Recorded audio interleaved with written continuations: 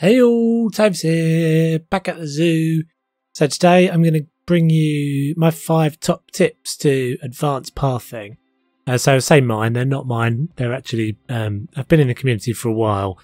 Uh, but when I was kind of starting off in this game, um, there wasn't a single place that I could go and find all of these tips together, all of these advanced tips anyway. There's lots of basic stuff. Um, so yeah, I thought I'd put this together. Hopefully this is useful. Um, and let's crack on with them. Okay, so number one, small steps. So this is quite useful in the game. Um, I use this all the time.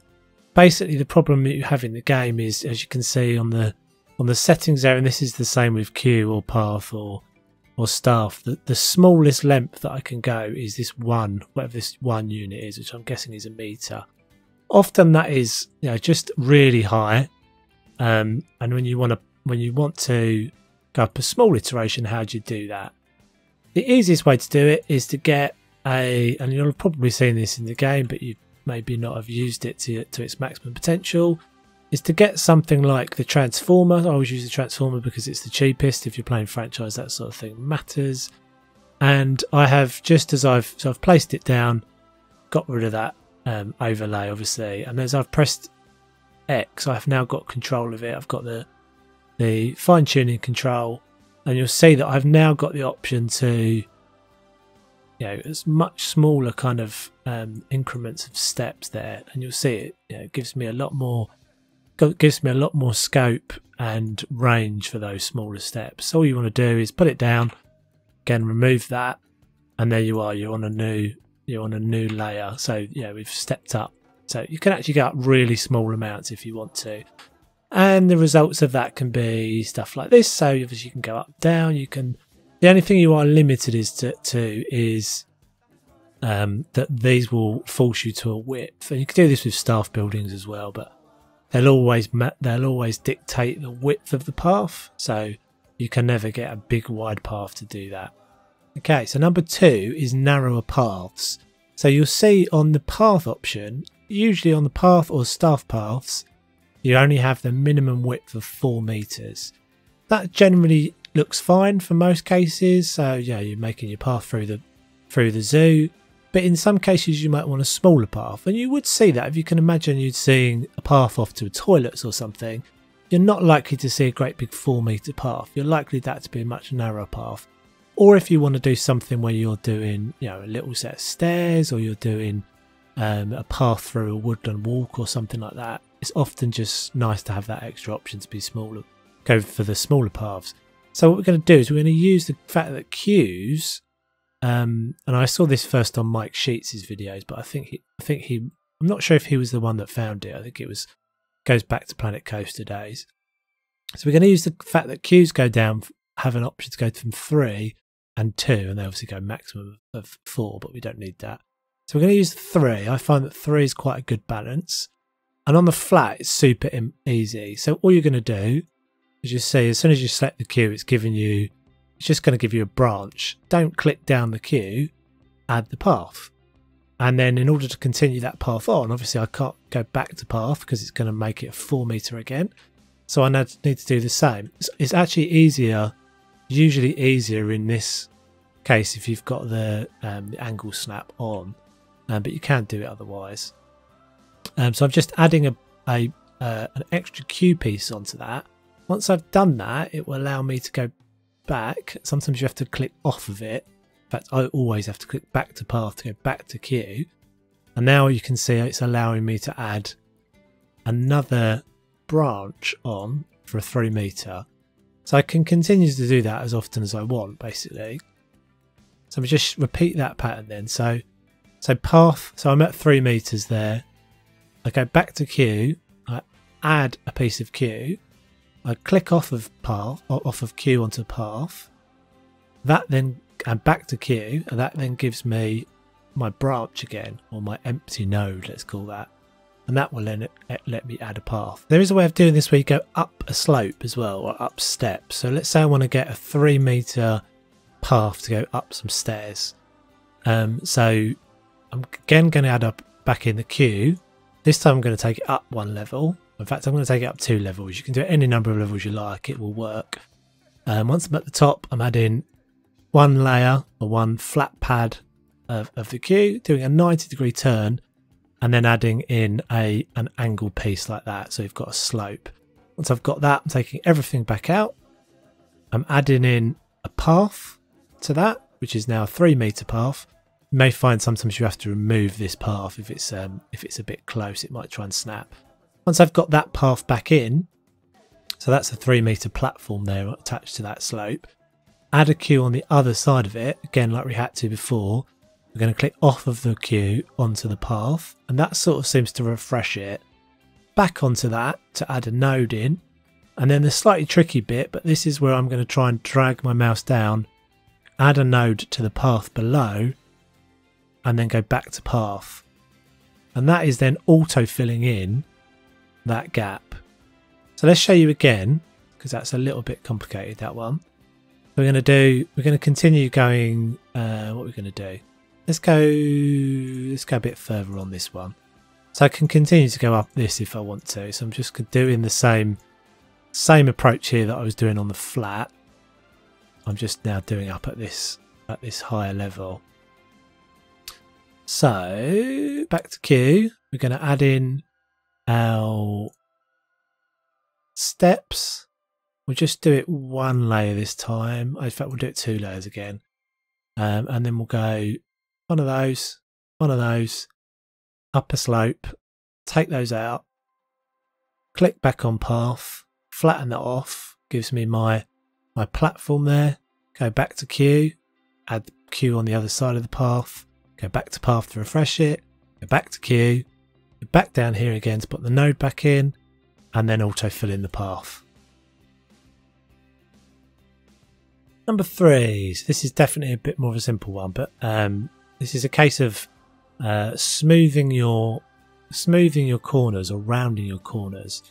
So I've got a little cross shape here, but this will work on kind of anything. It'll work on bends, etc. Uh, and all I'm going to do is I'm going to get I'm going to go into this little gap here. I'm going to left click it to add a node and then I'm going to right click it to take it out. And all that does is just adds a nice little smoothed off uh, corner to that otherwise kind of sharp angle. Um, so you can get some really nice sort of organic shapes and stuff into your path. Can be a bit fiddly. You can see there sometimes when you get a combination of them going on, it can be a bit a bit janky. Um, but I that's going to work. Oh yeah, it did work. So it's difficult to get it to get to get it sort of symmetrical, but you can see the benefits of doing that. And you can actually kind of build it out into real, into really big kind of plazas if you wanted to. Um, just carry on adding the nodes and smoothing them out. Uh, so there, we're getting to kind of a bit of a bit of an interesting shape.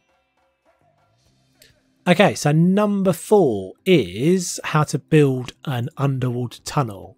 So a few people have done this. I've included this in one of my videos.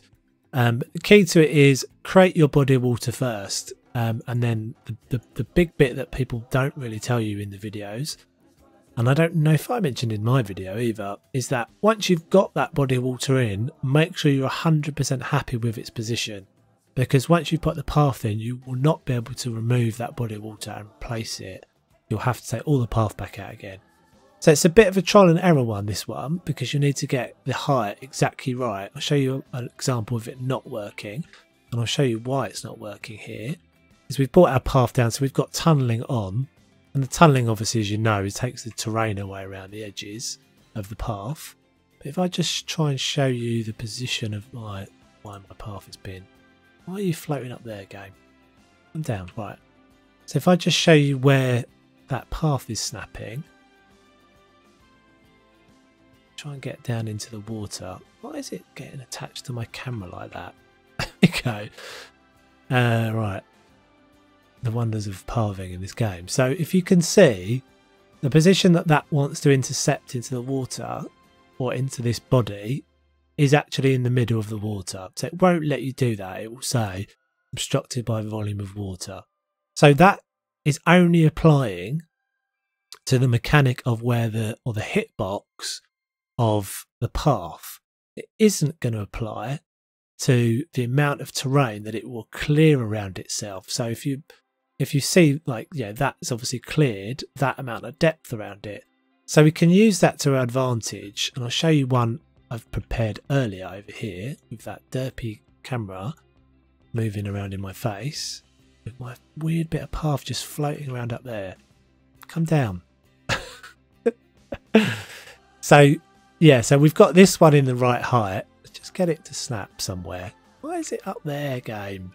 What are you doing?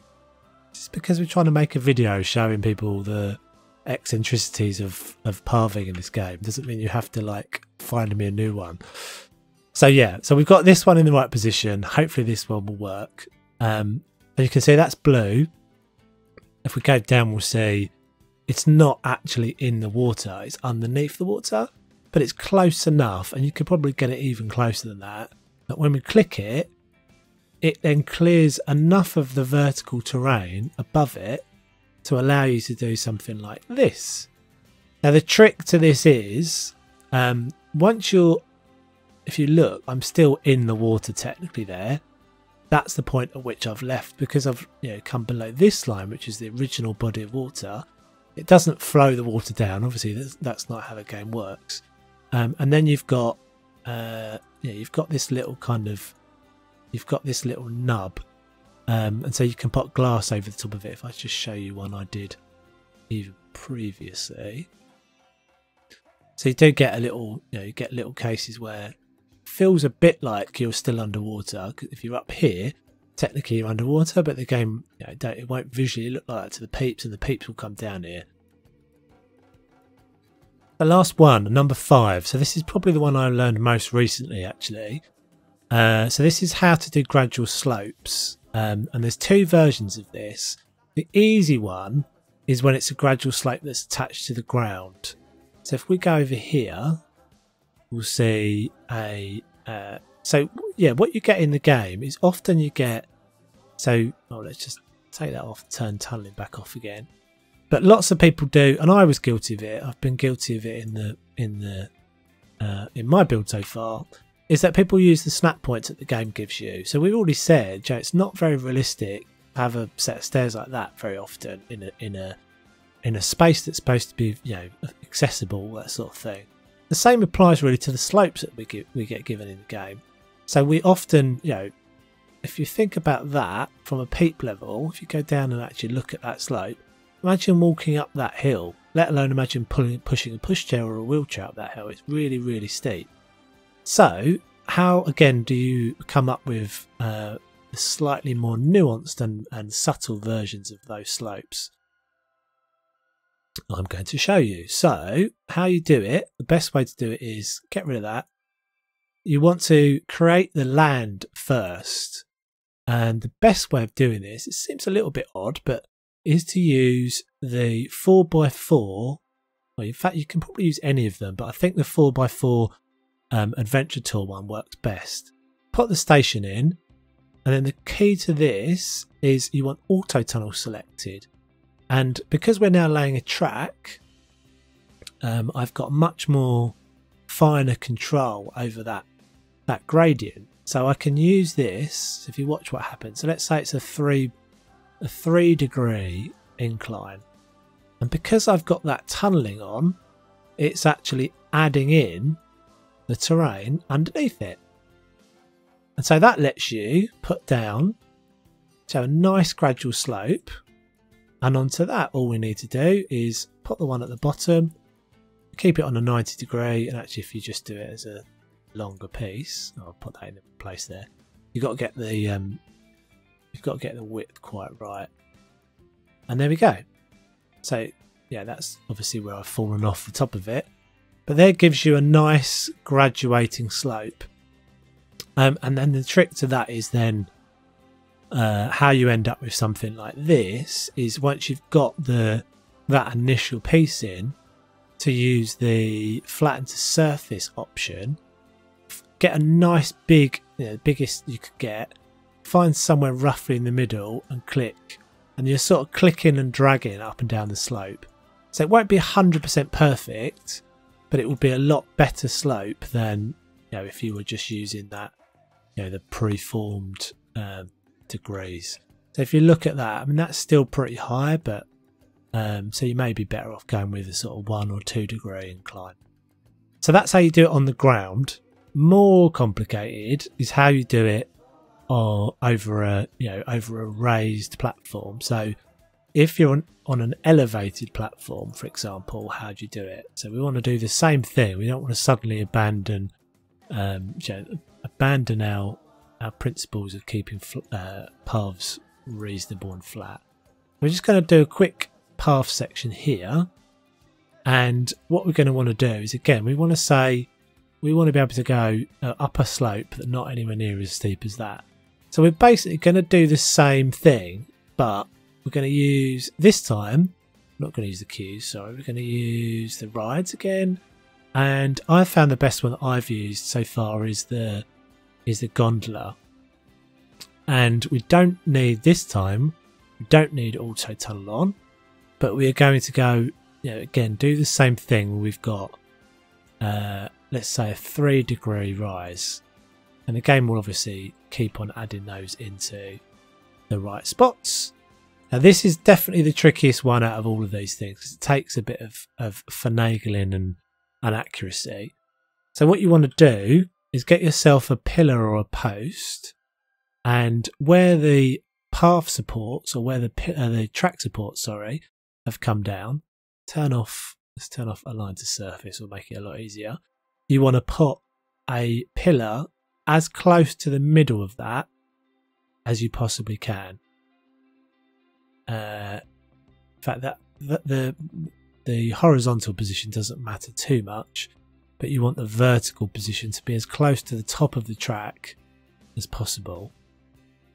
Now this will definitely take you a good two or three attempts to get this right. I didn't get it right on the first attempt and I've only done this a few times.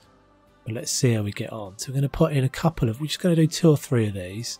So I'm using the advanced move there. Um, and I'm obviously doing this fairly quickly for the video's purposes. Try and keep it so that the amount that's kind of sticking through is roughly the same. Um, I probably haven't done an amazing job of that, but we shall see. Now, this is all probably seeming a little bit alien if you don't, if you haven't seen this one before. So I think that's probably good. That's the last support we've got. So now we've got our pillars in, we can go back and we can go back to the track uh, and we can take out this puppy. So go back to this track we no longer need that. All we were using that for was to get our uh, our graduation like that. Then we're going back to the path tool and we're going to press the shift key and we're going to try and get this basically as close to the middle the pillar as close to the middle of our of our path section as we possibly can. As I said, this is going to take we'll take some refinement and some trial and error and for sakes of the video. Now I'm pressing control there to keep that from snapping. Yeah, for the sakes of the video, this is probably going to be a little bit off, but we shall see how I get on. Let's keep that nice and short. Get that path down there again. Holding control whilst using the shift key to move it up and down. And then more. And then the last one is probably going to be a bit tricky because we've not got a, a lower support in. So now we've got those little dots in, we want to join them together. So you want to be careful here that you get exactly the right one. So just kind of move the mouse around up and down as much as you can. And you'll see that it's just giving you, again, I haven't done a perfect job on this, but it's giving us a really fairly gradual slope. It looks like that bottom one was a little bit off, but actually these, these, these three are reasonable. So that's a nice reasonable kind of uh, graduating slope, or kind of one degrees, two degrees, or whatever we said there. This one I'd probably have to go back and do again. But yeah, so that's basically it, guys. Hope you found that useful. Uh, my name is Toves, and I shall catch you guys on the next one. Take it easy.